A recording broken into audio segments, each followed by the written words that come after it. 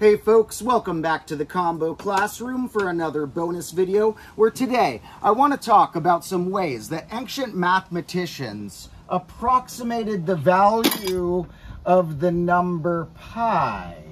And we're going to be proving something pretty trivial seeming today, which is that pi is larger than 3 but smaller than 4. And that may seem kind of silly because most of you probably already know that pi is larger than 3.13 but smaller than 3.15.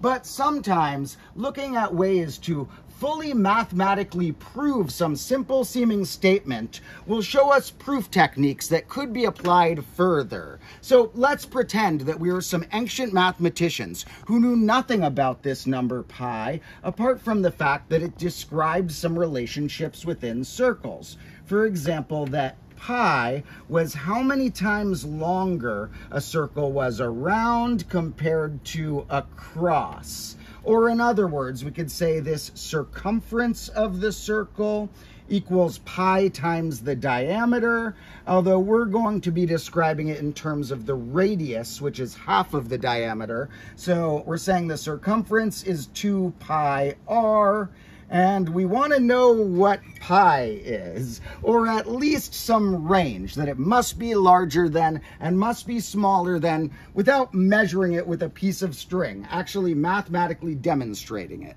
So the method we're going to use is taking polygons and putting them inside and outside this circle because if we have a polygon that is fully on the interior or border of this circle and doesn't pass outside at any point, we know that polygon must have a smaller perimeter than this circumference. And similarly, if a polygon was outside the circle and had no points that went inside, we'd know the perimeter of that shape must be larger than this circumference. So let's create some shapes. And we're going to start with a simple one, a square on the outside of this circle. And this circle we want perfectly inscribed in this square. Imagine it fitting as snugly as possible. And we can note that this diameter is exactly equal to the side length there. So this square has 2r per side and four sides, making its perimeter equal to eight times that radius. And we know that that is larger than two times pi times the radius, which is how much the circle was around. Now let's create a shape on the inside, but we're not gonna use a square this time. We're gonna use a hexagon. If I have a hexagon, a regular one where all the sides and angles are equal, inscribed in this circle, well, let's note that hexagons are divided into different triangles if we look at them in a certain way. And a regular hexagon is like we put six equilateral triangles together. Each of these equilateral triangles has a side length that's the radius, meaning that each of these hexagon sides is exactly equal to the radius. So the hexagon is six times the radius around. Now we have this little inequality where we can divide by 2r to get that 3 is less than pi, which is less than 4.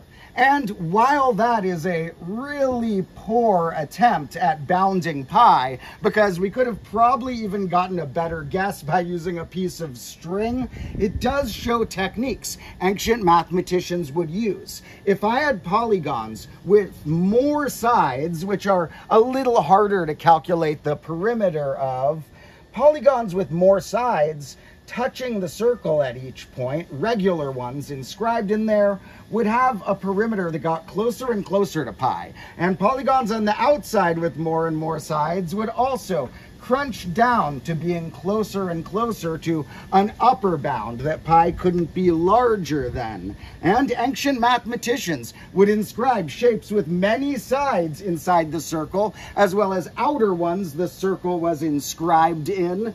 And look at these bounds, pushing pi's known amount closer and closer to a small range.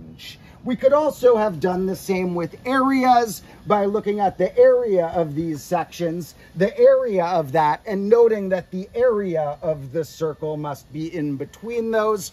I was just using the simplest of pi's formulas that it shows up in, but pi's magical and shows up in formulas related to circles in all dimensions, essentially. If we look at how much hypervolume is in a hypersphere, pi will show up in there somewhere.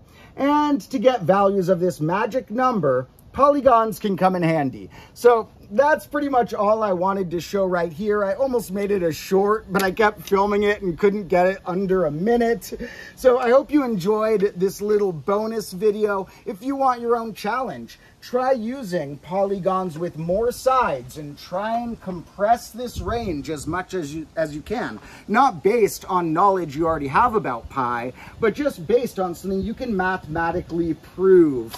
And make sure you're also tuned into my main combo class channel where my main full episodes go. I'm currently working on the finale for grade negative two before we move on to grade negative three.